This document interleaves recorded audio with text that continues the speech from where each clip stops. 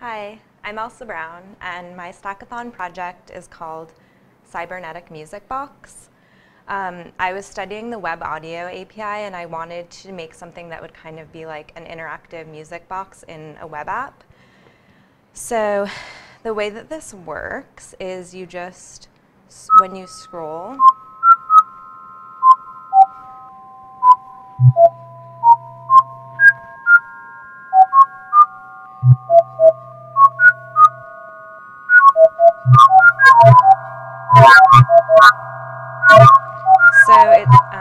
plays this little tune um, when you scroll. And the poem that I used is called um, All Watched Over by Machines of Loving Grace. It's a poem that was written in 1967 by Richard Brautigan. Um, so he was like part of the 60s, but also into this like techno utopian vision.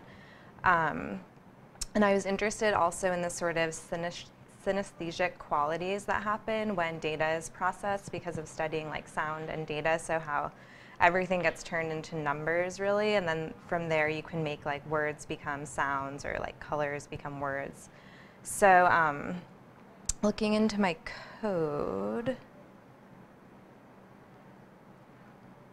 I uh, made this happen by pretty much um, writing a little program that would convert the poem, um, each line of the poem into a frequency based on a Unicode conversion. I originally wanted to convert, convert it by each letter, but that was kind of like overloading the system of my app. So I just cut it down to the number of lines. So the program, um, right here, it uh, stores the values in an array, and then I use that later on. I wrote um, this will like design the layout of the page um, into different invisible divs. And then I use this API called Scroll Magic so that I could um, loop through all of the divs and then um, use Tone.js to make a new instrument that would be set to the frequency of that line of the poem.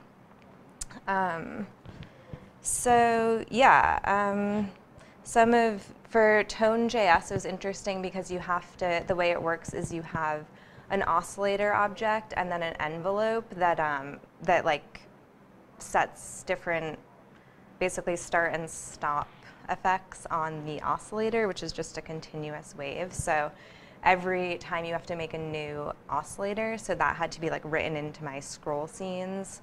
That was kind of interesting to figure out. Um, yeah, like originally I thought about doing different things, but I kind of like pared it back and I'm really happy with the way it came out. Um, Tone.js has a way that you can generate white, brown, or pink noise. So at one point I was gonna have like images and try to like uh, get like the noise coming out, but I think this is enough.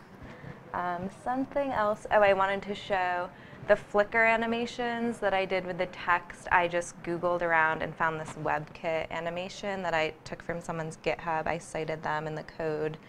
And I put two different flickers. You can like adjust it by um, setting opacities. And then also quickly I wanted to show my just like dependencies because I really just wanted to get a really like lightweight server up and running. There's no backend, so I used something called HTTP server.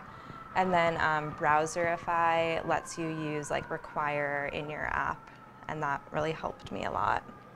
Um, so, oh, wait, hold on. Uh, this is my GitHub and the website. That's my website. It's up there in a link. And then my Twitter, you can follow me for more projects like this, hopefully. Thank you.